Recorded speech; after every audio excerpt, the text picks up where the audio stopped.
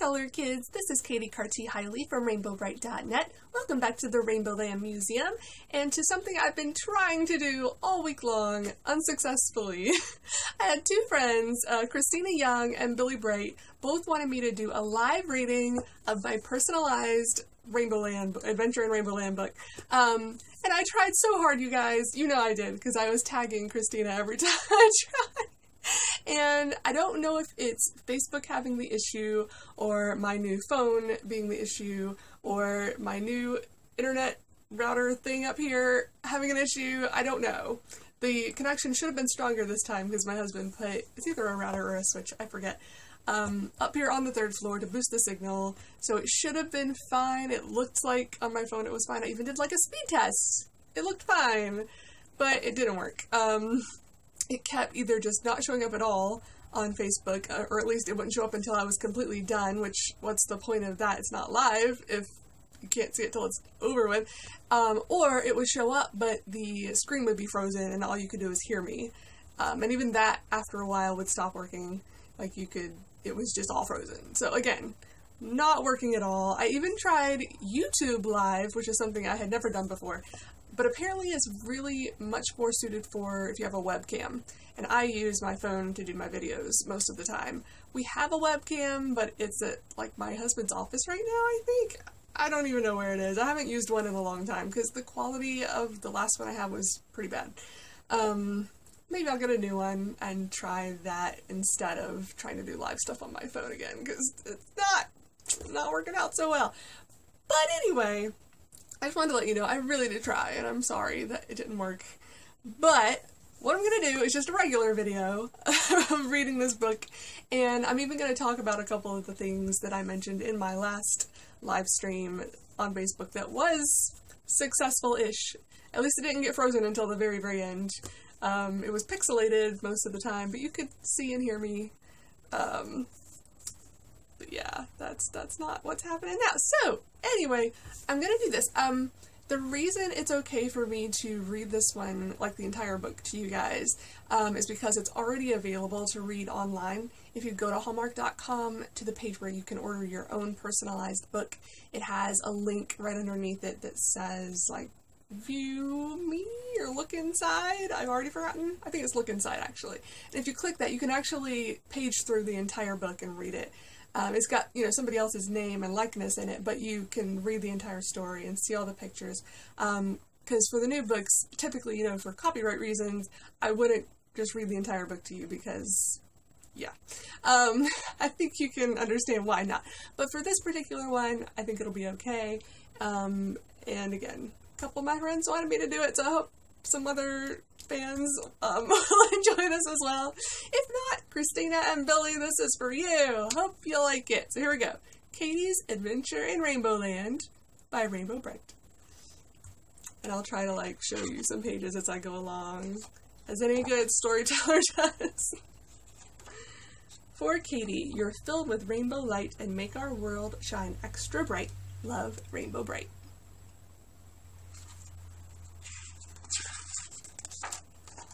And here's the title page. Here we go. You ready? You ready? One gray morning, Katy found a key she'd never seen. What's this? she thought, and then she saw a glowing rainbow beam. The door was locked, so Katy grabbed her strange new key, and then the door creaked open to reveal a place she'd never been.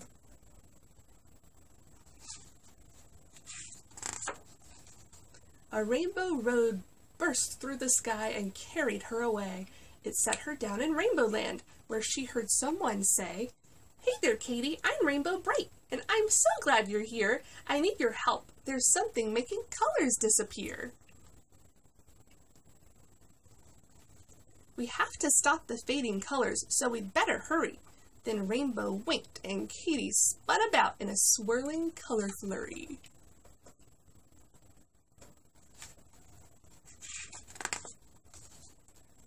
Let's go, Starlight. Come on, Twink. Meet Katy, my new friend. She's smart and brave and here to help this gloom come to an end. On Starlight's back, the gang flew high to take a look around. Then Katy pointed out a buggy zooming on the ground.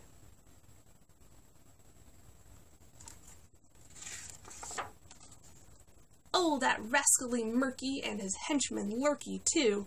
Their cloud of gloom turns colors gray, but I know what to do. Here, Katy, take these star sprinkles. Make sure to toss them close. The colors will scare them away, because they think color is gross.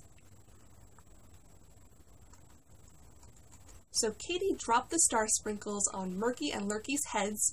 They yelled and fled back to the pet pits. You're colorific, Rainbow said.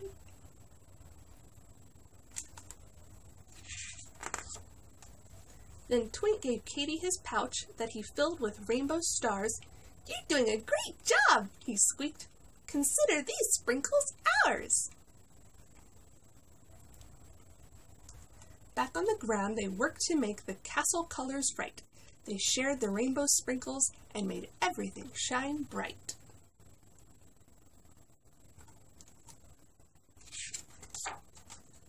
With all that done, we need to fix up all of Rainbow Land.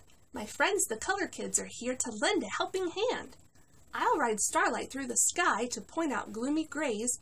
Be ready with your colors. And Katy, you're in charge, okay?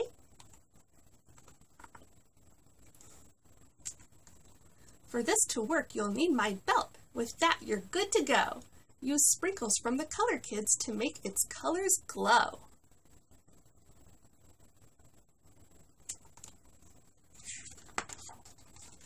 So Katy aimed the belt at all the land that was still gray, and shot bright rainbows from her belt that chased the gloom away. Rainbow Land looks beautiful, and it's all thanks to you. Thanks, Rainbow Brite, said Katy. Can we color my home too? Forgot the show.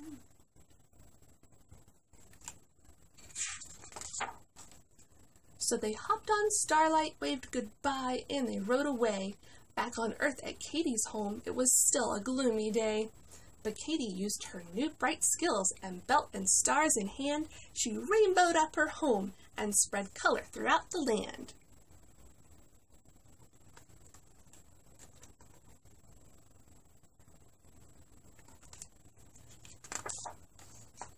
Rainbow Brite and Starlight took Katy back to her own room. You're just the brightest, bestest friend. I hope to see you soon. These stars will brighten gloomy days, so keep a few of mine. Use the key and please come back to visit anytime. The end. Isn't that the cutest book ever?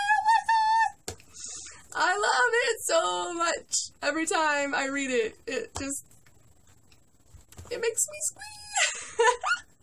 I mean, like you could tell it had my name through the whole thing, and I got to throw star sprinkles and wear her belt and see the color kids and fly on Starlight and talk to Twink. I love this book so much. I love it so much. Um, something I noticed, I don't remember which video, I think, yeah, I think it was the video where I reviewed this book. I was mentioning how I thought that it was Rainbow's hair that looked a little different in the illustrations, because this one is also illustrated by Jack Pullen. Um, but later on, I was flipping through it and comparing it to other books, and it's not her hair that's different. It's the fact that none of the characters are outlined. Um, let's see if I can find a good example. It's throughout the entire book, but I guess this is as good as as good a page as any. But yeah, like look at the characters they don't have outlines. Typically, um, in here, I'm sure I've got another book close by. Um, yeah, they're colored in clearly, but they have outlines around their bodies. And you know how I was kind of complaining in some of my other videos um, that the lines in some of these seemed a bit too thick and there wasn't quite enough detail or shading, or I thought the shading was weird or whatever um, in some of these books. But this one is completely different. Um, just completely different style. Like the eyes, not just Rainbow Brite, but all the characters have really big eyes in this compared to this. um, which is just a different style. I don't like one better than the other. It's just different. Um, but what I found kind of funny once I realized the difference and started paying closer attention, um, this kind of reminds me of like CGI. It's almost, almost got that 3D effect, but not, all, not actually, or not all the way, or I would probably hate it because I hate CGI stuff for the most part. Um, so it has a little bit of that more modern CGI feel to it, but not overly so. And the shading is done so well that it just looks good. I don't know. Like I I kind of like it without the lines, even though that's what I'm used to with Rainbow Brite artwork. Um, it's not like I completely missed it when it wasn't there. It's just different. I don't know, but the colors are so bright in this book, and I love this glossy paper. Like, here's the color kids again. You can see the big eyes. So I don't know necessarily that that's going to be the style going forward because I know there's at least one more children's book coming out, which may not be till next year. I don't know exactly when, but we didn't have time to see it. Um, Jack was actually going to show Renee and I that one as well when we were at the headquarters, but we ran out of time, so we didn't get to actually put our eyes on that one to see if it's the style or more like the other books that have all been basically in the same style. Um, so I don't know. We'll have to wait and see. But this one's really interesting to me. Yeah. Just thought I'd point that out. Yay. Um, and then the other thing I wanted to mention, well, first I wanted to thank everybody that commented on my live stream video, even if you weren't available, yeah, available, whatever, to watch it when it was live, because there weren't many people that were, because I know it was like in the middle of the day on a weekday, I get it. Um, but several of you watched it after the fact and commented and left me some good ideas, and I'm really thankful that you did that because I wanted you guys' feedback. Um, you know, when I do these videos, it's not just for me, I, I'm doing it for you. so I want to hear what you guys like, don't like, and want to see, or don't want to see, etc. So I got a lot of good feedback. Um, it was too many people to do a shout out to everyone, but thank you to all of you who commented on that video. Um, and I just wanted to tell you kind of the results. Not that I was doing a poll necessarily, but I did ask, you know, if they do more horses, what would you want to see? If they do more sprites, what do you want to see? Do you want them to do more, do you want them to do animals like Puppy Brite, Kitty Brite? What other characters do you want to see next? Things like that. Um, and I didn't like tally them up because there weren't that many that a tally would make a difference. But I at least wanted to mention the ones that people kind of voted for just by mentioning them. Um, so a lot of people agreed that they did want to see Onyx, so I was happy to see that. I'm not the only one that wants a plush Onyx doll. Um, and yeah, I think one other person agreed with me that Shimmer they don't really want um, for the same reason, just because she is not a vintage character. She's just from the 2009 line, so she isn't as official. Um, but I think only one person had anything to say on Shimmer, so, but nobody said, yay, I want Shimmer either, so I guess they're kind of like me, they're kind of ambivalent. It's like, if, if they want to make Shimmer, fine, but if they don't, we're not going to lose sleep over it, but we'd much rather have Onyx. Skeletor! He's got something to say, apparently. Um, so that was cool. Um, let me see what else they said. So yeah, for the sprites, they all a lot of them wanted Night Sprite for sure that was that had a, a lot of votes, a lot of mentions, and lots of people wanting Moonglow and Tickle Pink. Um, I would say it was probably weighted a little more the way I said it um, when I said I want Moonglow first before Tickle Pink, but I'd say probably just as many people wanted them both. It wasn't like all these people wanted Moonglow and only a couple wanted Tickle Pink. They all wanted both of them. So if they make Tickle Pink first, or if they never make Moonglow, I think people will still be happy to get Tickle Pink and will definitely get her, but I hope they do both if they're going to do one, um, personally. And since they've made Sunriser, I kind of get the feeling that they're leaning more towards Tickle Pink before any other character.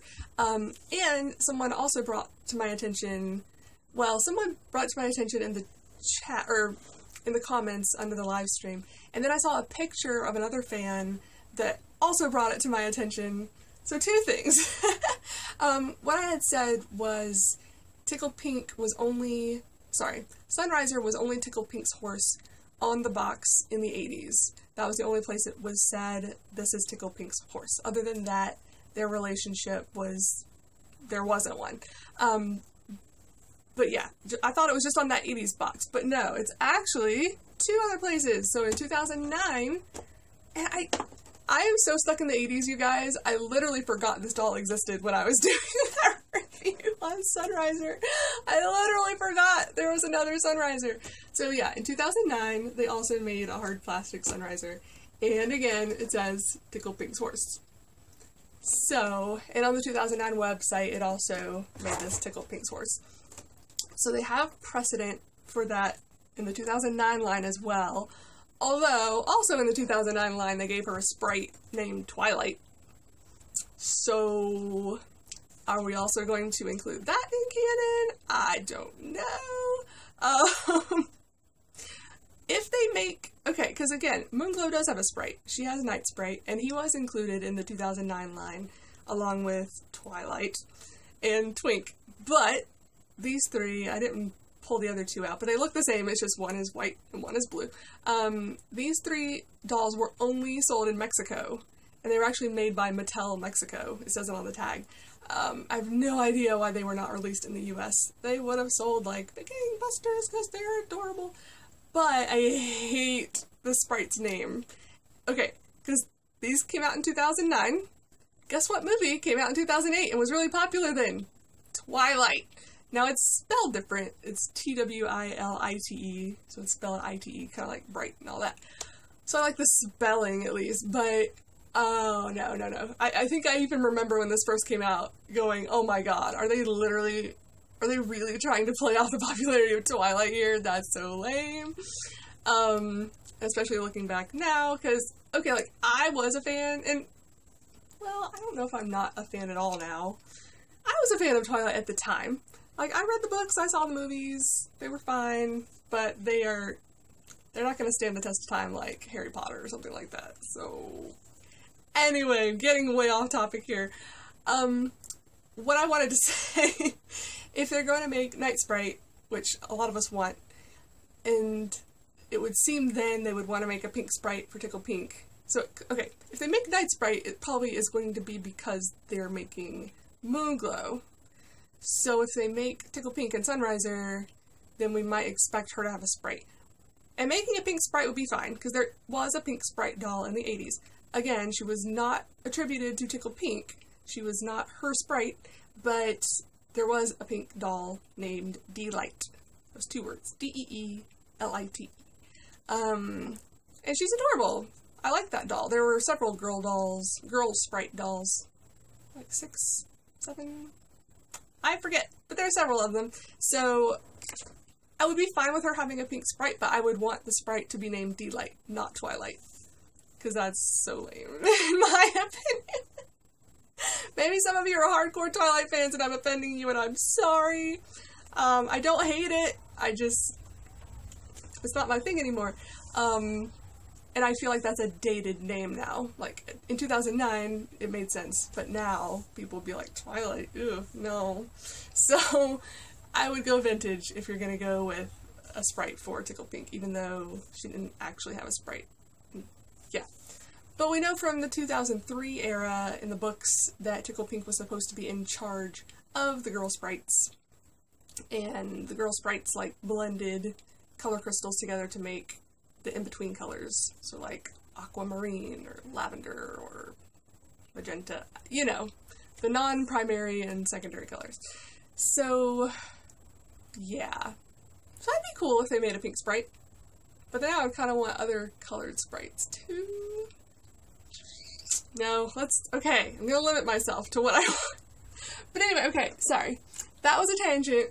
Sorry about the sprite thing. I just had to bring it up because it, the 2009 Sunriser reminded me that there was a 2009 Sprite for Tickle Pink, and then I got.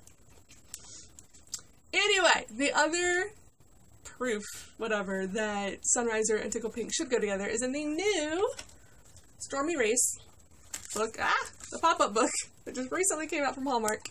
You can see her back there. There's Tickle Pink riding Sunriser in the race.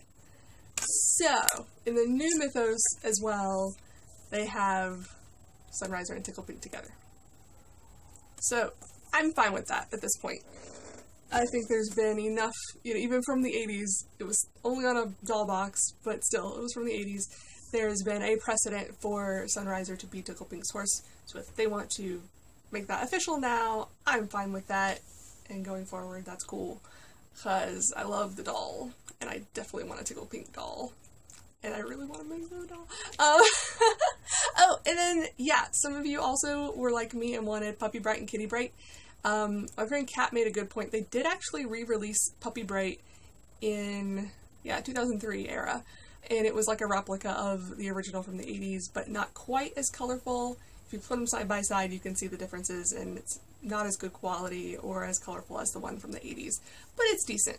But they did not make a Kitty Brite then, so we've only ever had the one. So if I had to choose between the two, I would want Kitty Brite more than Puppy Brite, but I want both and a lot of other people agreed with that sentiment. And somebody, I think it was Sean, um, pointed out Murky and Lurky, because I always forget about Murky and Lurky, and I'm really sorry, you guys. I actually do like those characters a lot, and I really do want to see them in doll form, whether that's big dolls or itty bitties, or both. I really want to see the bad guys as well, because they're hilarious. They're, they're hilarious bad guys. So, yeah, I think that's all I wanted to do for this video, but there, Christina and Billy, there's your reading. I hope you enjoyed it. Um, and let me know what you guys think about the other products and what you want to see coming up next. Um, I think a couple more items might be coming out next month. I'm not really sure. So hopefully I'll be doing another review video soon, but even before that, if I can get around to it, my desk is a mess right now. It's a really good thing you cannot see behind this camera. Um, I still need to put away the stuff from my last merch haul, which was months ago, I think, at this point. So once I put all that away, I can do another merch haul because I I've gotten some more things since then that are not new things. These are like vintage items, etc. So I need to do a merch haul video. Um, yeah, but yeah, so I'll be doing more videos soon, rest assured. But I definitely wanted to get this one done because you guys have been asking for it. So there you go. Hope you enjoyed it. Hope you guys have a rainbow day. See you next time. Bye.